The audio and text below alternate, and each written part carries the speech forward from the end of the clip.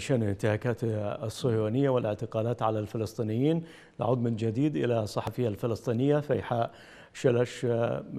نرحب بكم مجددا. كنا نتحدث عن إعلان مركز فلسطين لدراسة الأسرة عن اعتقالات الفلسطينيين على يد الاحتلال الصهيوني في شهر شباط الماضي. تفضلي.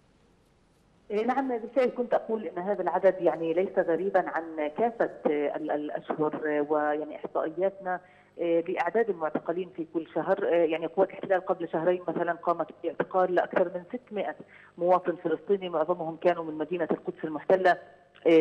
ويعني في كل شهر تقريبا نسجل مثل هذه الإحصائية وتكون يعني بهذه النسب عادة. ويتخللها طبعا اعتقال للفتية اعتقال للسيدات أيضا اعتقال للشبان وحتى المسنين يعني لم يسلموا من حملة الاعتقالات. هذه تحت حجج مختلفة أيضا من ضمن المعتقلين خلال هذا الشهر كان فتية مصابون خلال مواجهات مع قوات الاحتلال. يعني أحد الفتية قبل عدة أيام تم اعتقاله بالقرب من بلدة حلحول شمال مدينة الخليل.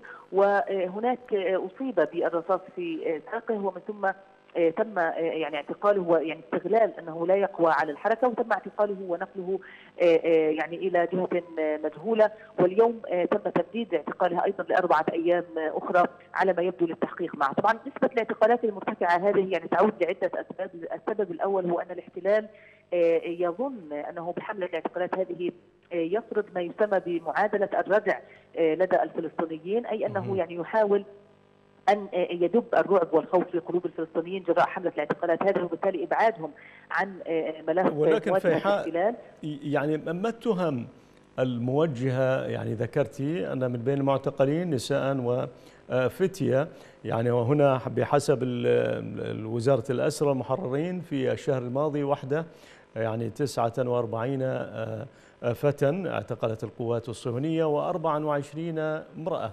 ما التهم التي يمكن أن توجه للنساء أو الأطفال أو الفتية هؤلاء حتى يمكن يعني تسويغ اعتقالهم قانونيا؟ يعني التهم بالنسبة للفتية والأطفال عادة ما تتركز حول رشق الحجارة أو محاولة رشق الحجارة يعني الاحتلال حتى يضع ضمن التهم يضع النية يعني نية مثلا رشق الحجارة وهذا يعني أيضا مخالف للقانون الدولي.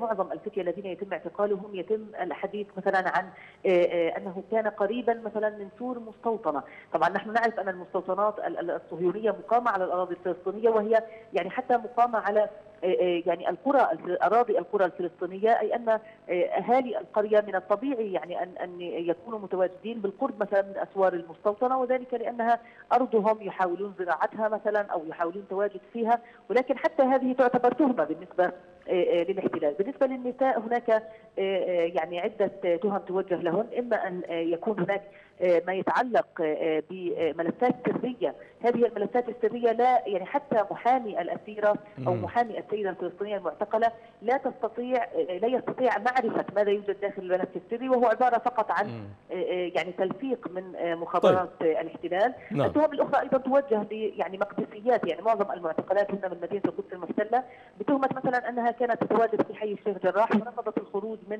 حين مثلا حصلت مسيرة للمستوطنين وهذا الأمر يحدث عادة يعني ويتم على خلفيته اعتقال عدد من النساء الفلسطينيات بحجة انهم يعني أنهن طيب. يتواجدن في مكان تواجد المستوطنين. هل لديكم معلومات عن معاملة من يعتقلون داخل سجون الاحتلال؟ هل هناك ضمانات حقوقية لهم باختصار بنصف دقيقة لو سمحتي تفضلي.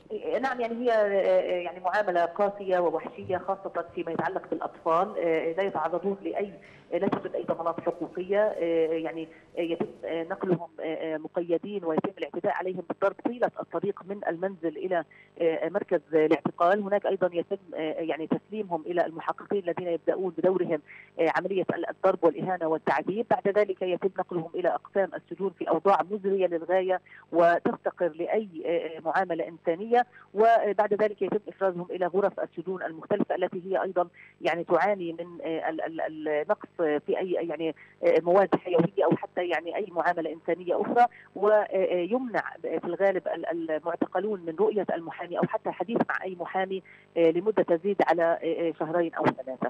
من الضفة الغربية المحتلة هاتفيا الصحفية الفلسطينية فيحاء شلش شكرا جزيلا لك